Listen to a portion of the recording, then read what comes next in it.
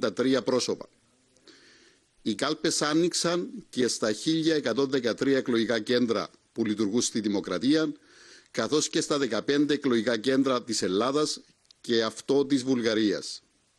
Στις 9 ώρα Κύπρου αναμένεται να ανοίξει η κάλπη στα Ηνωμένα Αραβικά Εμμυράτα, στις 10 οι κάλπες στο Ηνωμένο Βασίλειο, Αυστρία, Βέλγιο, Γαλλία, Γερμανία, Ολλανδία, Σουηδία και Λουξεμβούργο, ενώ στις 2 το απόγευμα, ώρα Κύπρου, θα ανοίξει η κάλπη στις Ηνωμένες Πολιτείες Αμερικής στη Νέα Υόρκη.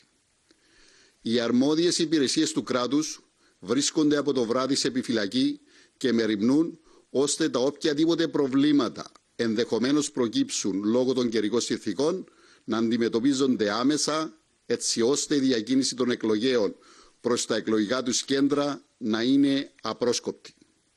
Η ψηφοφορία ξεκίνησε ομαλά, χωρίς οποιαδήποτε προβλήματα και θα συνεχιστεί μέχρι τις 12 το μεσημέρι. Μετά από διακοπή μιας ώρας θα επαναρχίσει στις 1 το απόγευμα και θα λήξει στις 6 το απόγευμα. Οπότε θα κλείσουν οι κάλπες τόσο στη δημοκρατία όσο και στο εξωτερικό. Σημειώνεται ότι σε, εξετeri... εξετeri... Συγγνώμη, σημειώνεται ότι σε εξαιρετικές περιπτώσεις μπορεί να παραταθεί η ψηφοφορία σε εκλογικών κέντρων εάν κατά την ώρα της λήξης ψηφοφορίας αναμένεται να ψηφίσει μεγάλος αριθμός εκλογέων.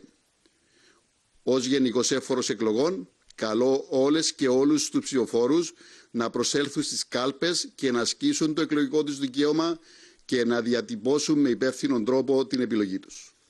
Θα είμαστε εδώ για να ενημερώνουμε τους πολίτες σε τακτά χρονικά διαστήματα για την εξέλιξη της εκλογικής διαδικασίας.